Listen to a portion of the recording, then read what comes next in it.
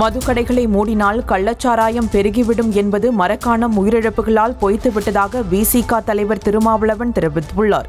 மதுரையில் செய்தியாளர்களிடம் பேசிய அவர் தேர்தல் அறிக்கையில் கூறியது போல் மதுவிலக்கை நடைமுறைப்படுத்த முதலமைச்சர் நடவடிக்கை எடுக்க வேண்டும் என வலியுறுத்தினார். திராவிட முன்னேற்ற கழகத்தின் தேர்தல் அறிக்கையில் படிப்படியாக மதுவிலக்கை நடைமுறைப்படுத்துவோம் என்கிற உறுதி அளிக்கப்பட்டிருக்கிறது. ஆகவே அரசு மதுக்கடைகளை சட்டப்பூர்வமாக அனுமதித்த நிலையிலும் கூட கள்ளச்சாராய புழக்கத்தை கட்டுப்படுத்த முடியவில்லை. மதுவிலக்கை நடைமுறைப்படுத்தினால் கள்ளச்சாராயம் பெருகும் என்கிற வாதம் வைக்கப்படுகிறது.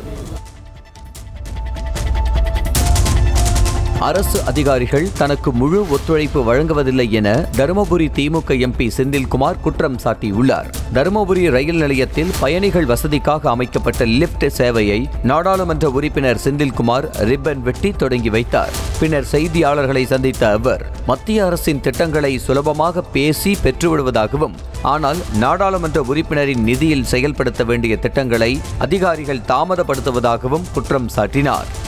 தருமபுரியில் நடக்கக்கூடிய விஷயங்கள் எதுவுமே நடக்க மாட்டேங்குது.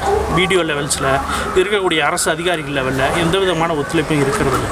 மாவட்ட ஆட்சியரும் நல்ல ஒத்துழைப்பு இருக்குது ஆனால் எந்த விதமான என்ஓசிக்கோ இதுவோ நம்ம எந்த கொடுத்தாலுமே வந்து அதிகாரிகள் மத்தியில் வந்து எந்த விதமான இது இல்லை.